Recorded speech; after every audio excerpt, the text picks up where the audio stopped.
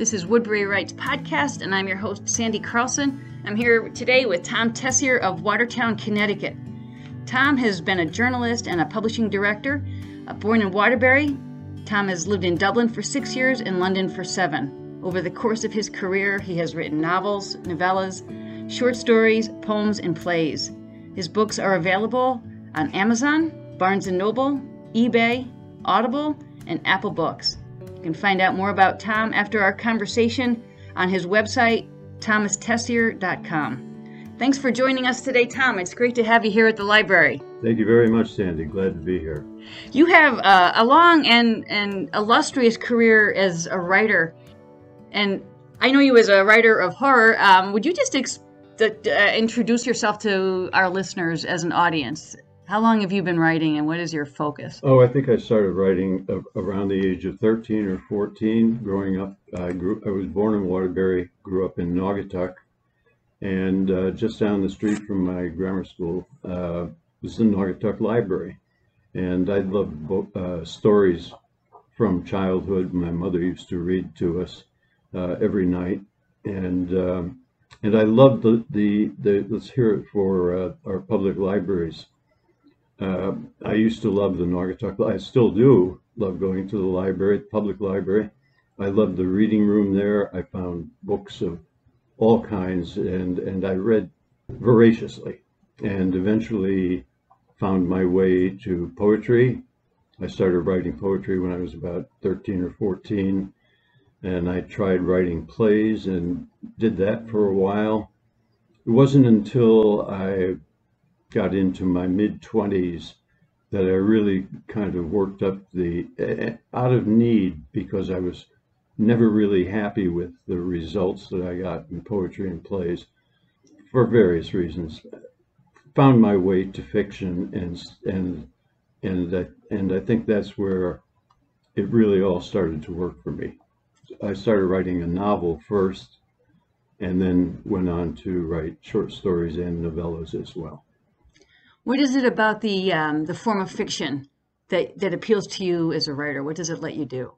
I think it's more expansive, and and it, and for me, it allowed me to my imagination to open up and go out in different directions, and to get more involved, write at greater length, write in greater detail, and it just seemed like the most natural voice for me. Well, I, recently I've been, been reading from your collection of short pieces called World of Hurt, and the way you develop a character and and build the tension and combine what seems very ordinary and familiar and accessible and and take it to another level incrementally until we're as surprised as your characters are by where they are and what they're trying to make sense of. Oh, good. It's Thank a, I, I think it's a perfect form. What what inspired you early on to to try out writing? Did you have an audience you were writing for, or just well, when I started writing poetry as a as a young teenager, uh, no, I didn't have an audience in mind. I didn't ever think of sending the poems anywhere, submitting them to a magazine or a paper. Uh, I was writing just for myself, and it was, you know, mostly teenage angst and teenage love, and uh, and it was just uh, finding what was good about it was I found that I could write, I could put down my feelings, I could put down my thoughts. And so I, once I started writing, I never stopped. What um what inspires you to explore the dark side of human nature when you're in your horror writing? The world around, I guess. Ample inspiration. I, I I guess I've always been sort of uh, I mean stories that are scary, uh, stories that are dramatic. Those are the things that, that we all uh, kind of relate to, uh, both growing up and as adults. Uh, it's it's ways uh, it's a way of seeing the world and trying to make sense out of it, and make sense out of the way that people behave and reaction to what happens to them.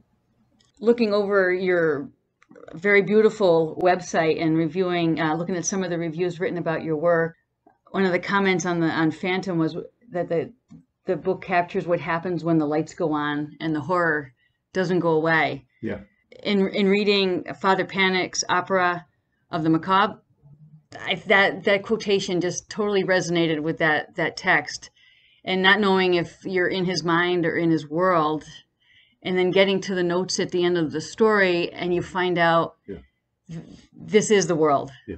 That was that was a, that was a, a, a bit of a different uh, kind of a horror story for me because it was the first time I really wanted to base a story on actual historical events, and the it is partly a haunted house story, or but it it required, I think, uh, taking that historical event and not writing it as nonfiction, not writing it as an actual story, but putting someone in the situation where they're exposed to it in a very surprising way. Yeah, you know, and when I started reading that story, that novella, I I felt like the story made me think of some some works by Poe in terms of the Mhm. setting and the, the your classic horror story. And then when I got to the notes and I saw that it was based on things that actually happened in concentration camps. Right. And I'll be honest, I felt foolish because I didn't know that piece of our history, our world history. It's a kind of a forgotten incident. Um, it's sometimes referred to as the the smaller or the lesser Holocaust, and uh, you know the Holocaust itself. Obviously, was such a a massive horror that it's there are smaller parts of it or related parts to it that just get completely forgotten or overlooked. I, and I, I think one of the experiences I've had in reading horror, which, as I said before, wasn't my the, my go-to genre, Right. um, but going there and engaging texts that deal with the dark things that human beings are capable of, I, I find that the genre is more honest about human nature than maybe some others in their exploration of where that comes from within us. Wh- How are we capable of some of these things? And you know, how can somebody be your lover by night and your your afflictor by day? This person that's ready to reduce you to nothing. Yeah, I think that's one of the reasons why horror and and crime have become such uh, big players in in the publish, in publishing world, in movies and television and the arts. Uh, when I first started writing horror stories back in the uh, 1970s, there were no publishers who would who would admit to publishing horror. The what we call horror books now or ghost stories the ones that stood out were Shirley Jackson's The House on Haunted Hill. The Exorcist was it was a huge influence in the publishing world and in the reading world, as was Rosemary's Baby. But those publishers would tell you they weren't publishing horror at that time. They were publishing bestsellers. And that's how they thought of those books. But all that kind of began to really change when Steve King came along. And Steve made horror. He put it on the map. He gave it respectability simply because of the volume of sales and the recognition that there was something going on here that horror is not something that lives in a little ghetto. It's everybody relates to it one way or another.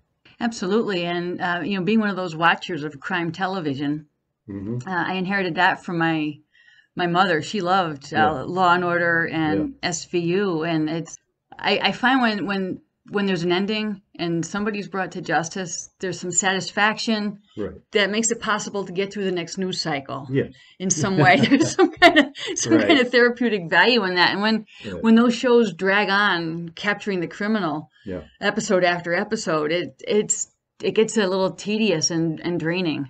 Yeah. You know, um, and and with your work with the shorter pieces, you preserve that unity of effect and get to some place where if all the questions aren't answered, you you are sharing the questioning with a writer who's brought literary value to those questions and we're not just horrified but Right. there's a there's a narrative there and identifiable characters um You, you mentioned uh, Stephen King. Is is he a favorite author, or is there an author that's influenced you most as a writer? Oh gosh, uh, as as a horror writer, Steve is obviously a big influence, a big factor in how my work was received and many other people's work. Um, and he opened up, you know, the marketplace for a lot of good horror writers.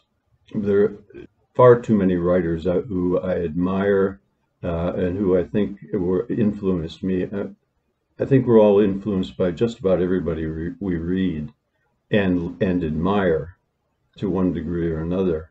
But uh, I mean, other another horror writer who was a huge factor in my life was Peter Straub, an old friend of mine who just recently passed. And we we both started out writing horror at the same time together. We met in Dublin uh, in years, and then also both happened to be living in London at the same time. So he is one of my all-time favorites. Right, and he has said of your work that you um, you bring unexpected poetry and subtlety to horror, and I think that's that's amazing. Um, and I, you know, I think the pulp fiction that I grew up with that was horror. Yeah. You you know, you're just there to be scared, and and it's some kind of weird little cathartic thing, and off you go. Right. But there is literary merit in the in the genre. Um, and part of that is the work that goes into constructing a story. Can you just speak to the kind of research and um, that that might go into into your work? Well, first, let me just follow on what we were just talking about. A big influence in my life, probably the very first horror writer I ever read, of course, was Poe, and I loved Poe's work, and he led me to other people. And I grew up in that time when the Twilight Zone was a big deal, and the Saturday afternoon matinees that had horror movies uh, that nobody else paid attention to except kids. All of that was was influential in my life. Research, I've done a fair amount of research over the years on certain stories. Mostly it doesn't have it, it's more about trying to get facts right. If I'm writing about a place, I like to know more about the history of. A couple of my novels and uh, stories are set in London. I did a lot of research while while I was living there to get to know the city better and to, and to know more of the history of it. It's the same thing in New England. We have a long history of horror and horrific historical events in New England, and uh, Hawthorne was another big influence on my on me. I, I, I think and so I've always I've always loved reading that and looking that up and understanding as much as I can about Connecticut, Massachusetts, and the rest of New England, and the history that this whole area is just so rich in. I, I hear you, and I, you know, there's uh, the story that the very building we're in is haunted from way back when the the gallery portion of the building uh-huh was a was a schoolhouse. I haven't seen the ghost, but I've heard the shutters bang against the exterior. So who knows? Um, so that verisimilitude is part of what makes the the text so convincing, and it's yeah. easy to to see the landscape that you're describing. Right. Um, so the the research question also seems to link to the the notion of of location and. I'm just wondering, can you say say more about the role of place in your in your writing? How does that come into play for you? Uh, sometimes it's very specific. Um, but for instance, my novel Rapture was set in the Naugatuck Valley, and I grew up there. I knew it very well. I was really very comfortable writing about it, and a couple of others. My first novel, The Fates, is also set in the same area. I made uh, I made use of uh, I changed names, of course, but it tracks on the ground. It's it's uh, very solid. Right. Have you said anything very close to home in, in the sort of greater Waterbury area? Um, a couple of stories that I'm actually working on in the process are set there. Yeah. Oh, exciting. And, uh, and, and, there's another story, uh, I'll just mention it, talking about history and uh, verisimilitude. Uh, there is another story uh, that I've tried to do something with and I haven't, but I still love the idea. There's a house in the greater Waterbury area. I won't say where it is, but uh, years ago, a couple bought a big house and they were planning to redo it. And you can see these are, this is a typical story in the horror field. move to a new house, uh-oh, something happens. Well, they wanted to they wanted to uh, bring it up to date. It was an old house, and uh, submitted plans uh, to the town hall, it, which included redoing the entire cellar, which was an old New England cellar. And when they submitted their plans, the person at the town hall replied and said, "What are you going to do about the grave?" And they said, "What Oh, boy. grave?" And they said, "Well, in that house, someone was buried in the cellar." Oh boy. and there are laws that pertain to what you can do and cannot do with a grave. oh no. so I still haven't, uh, I still haven't uh, quite figured out if, if or what I would do with that. But it's the kind of thing that you could stumble across in local history that I absolutely love. That sounds like a great story. Oh, you, you know, there was recently a New York Times published a piece about Victorian houses and how they were made in the, the, the you know, the chemicals in the paint, the lead in the paint, and Right. all this, and the creating the effects of being haunted houses, and maybe the you know the lead having an effect on people's thinking and stuff. I think Yeah. I prefer the haunted theory. Yeah. You know? So, you know, you mentioned um, Stephen King, and it, it just actually made me think of a, a trip I took with my parents many, many years ago. And we, audiobooks were a big thing, and they were brand new, and we had the ability to play one in the car. So that meant we had a slightly newer car. Yeah.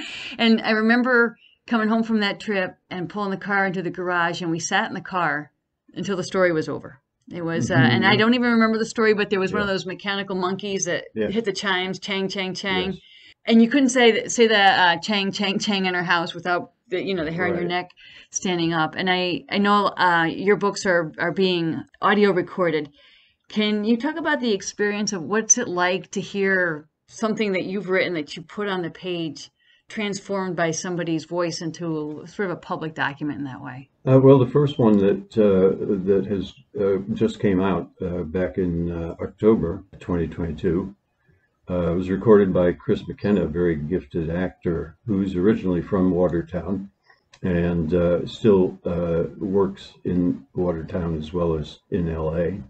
Uh, and he, as he started to record Rapture, he would send me chapter by chapter his recording, which was unedited, uncorrected, but still first take through.